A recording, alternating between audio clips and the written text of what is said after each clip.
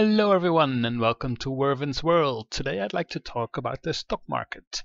So, um, as you've noticed when you went to other colonies probably, you saw this green beam that you had to fly towards in order to buy or sell stuff, right? That you could find when you click on stock market search where you can find what people are buying or selling. So, once you have a colony of your own, you can also build a stock market, which is a building. Uh, you can buy the blueprint at uh, Deep Six, I think.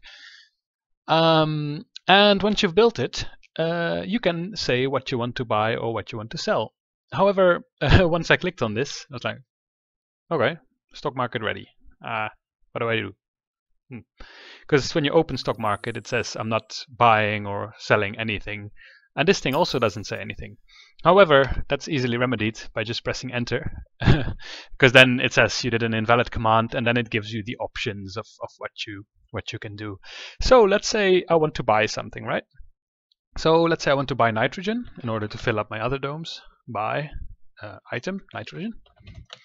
Then uh, max quantity to store. So let's say I want to buy up to 10,000 nitrogen. And then the price I want to buy it at. So let's say I would be happy to pay 200 credits per ton of nitrogen. So then I press enter. And then it says here, command buy nitrogen, buying nitrogen up to uh, 10,000 at 200. I have so much space left uh, and zero nitrogen in my warehouse. And um, then it also says the total cost. I would be prepared to buy 10,000 nitrogen for 2 million uh, credits. So if we now look at, a, at our stock market, we can actually see that I am uh, buying uh, 10,000 nitrogen for 200.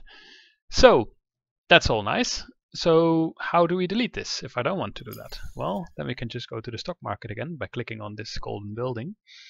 And then we can say del buy, so delete buy, uh, order ID. So then we have to find out the order ID, and I don't think it says anywhere now. But if you press enter, um, there, you see here the order ID is uh, 1304.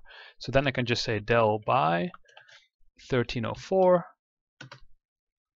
and then it should be deleted. So if I click on stop stock market, you see that I'm not buying anything anymore. So that's how you can uh, set whatever you're uh, buying and selling in your stock market uh, so that players can haul stuff from and to your colony. So hope you find it useful and see you next time.